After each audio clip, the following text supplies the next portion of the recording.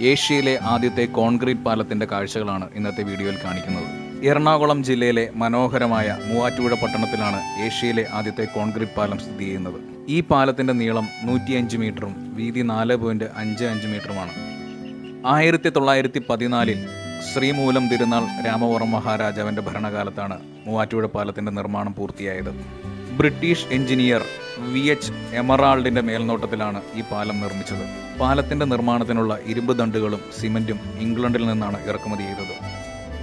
ഈ പാലത്തിന് ഇപ്പോൾ നൂറ്റിപ്പത്ത് വയസ്സുണ്ട്. അതിപ്പോഴും ഇരുപതുകാരനായ ആൺകുട്ടിയെപ്പോലെ കരുത്തനായി നിൽക്കുന്നു.